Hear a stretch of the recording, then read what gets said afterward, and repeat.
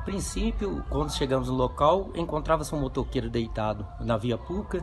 Segundo testemunhas que estavam no local, ele mesmo vinha com a moto, sua moto em alta velocidade, perdeu o controle na rotatória entre as avenidas Jacino Barbosa e Marciano Pires, colidindo é, em um poste de iluminação pública nessa rotatória. Bairro Belvedere, com final com a da, da bairro Matinha. A princípio estava com alta velocidade e, segundo testemunhos estavam no local, ele estava sem capacete é bastante grave.